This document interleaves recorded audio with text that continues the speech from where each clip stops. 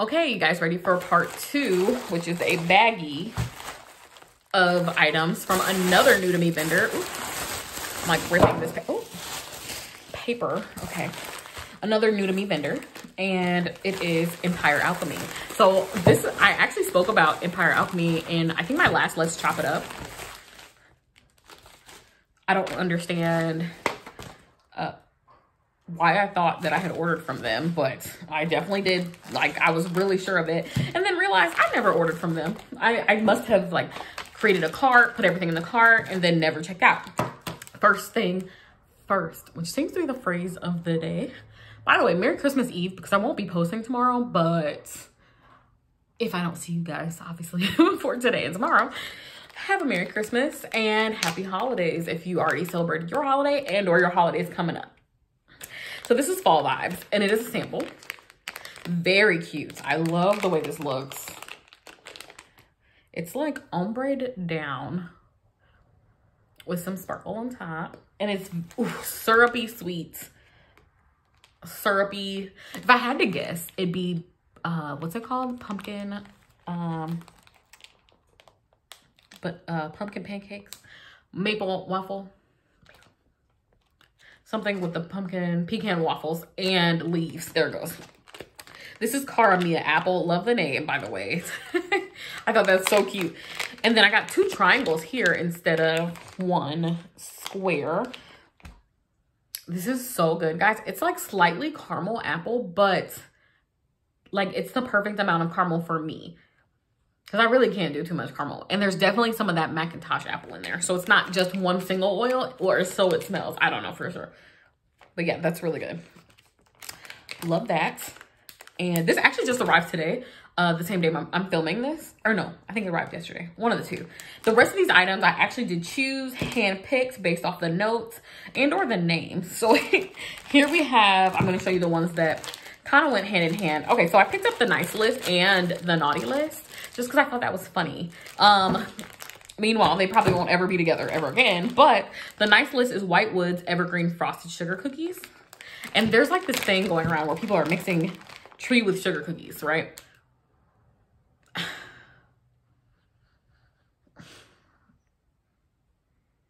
I smell something in the background, but it is like heavily treed. This is what the donut looks like. I can't remember what she calls these. I don't know if I have any sort of receipt for these. No, I don't think I do. Um, if I did at some point, I definitely left it where I get my mail from. But yeah, so super cute. And then the naughty list is ice cream scoop bread, affogato, and vanilla ice cream. I think affogato is, uh, it's ice cream over coffee. It's like when people use ice cream to cream their coffee. Have you heard of that before? Um, I personally have never had affogato, but it's partially because I don't like drinking coffee after a certain hour and ice cream in the morning just seems like, who do I think I am?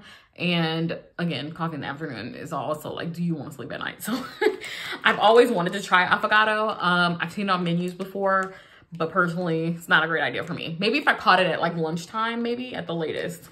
But anyways, you guys, I'm not a huge fan of ice cream scoop bread, but when it has more vanilla base, I do like it. Like when people mix it with vanilla, I think this is the cutest little donut, by the way. And I do like that.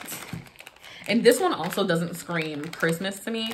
So again, there's gonna be some, like, unlike the Nice List, which has that evergreen base, um, there's gonna be some Christmas scents that I'm just gonna separate into my usual year round. So if you see them in my MDs in like the middle of June, you know why. This one's called Home for Christmas, which is hilarious because I am home for Christmas. it's cinnamon bread, hot buttered vanilla, and celebration cake. Ooh. It's heavy on the bread for some reason. Oh, it looks like the cutest little frosted donut. I just realized that. I am I don't think I like bread in scents, guys. I think bread as a scent note is just too bready. Like it's like too realistic or something. I don't know. I don't know why I don't like that. Um, don't dislike it, but I don't love it enough to repurchase. And I honestly think after trying several vendors, um, bread scents that I don't think bread's on my, like, I like that list. The next thing I have is peppermint milk, which I'm just gonna go ahead and spoil. This is my favorite of all of them. And it is Tres Leches cake, peppermint brittle, and vanilla crumb donut. Everything is so good. And it's like, it's so good. This is gonna be like a huge January for me, like huge in January. I'm honestly, I might finish this in January.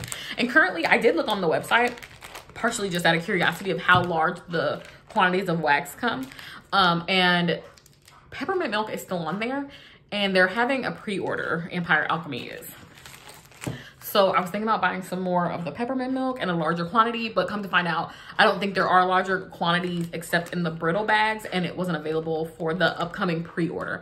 The pre-order actually says that it'll be, I think it said it'll be shipping in the late January.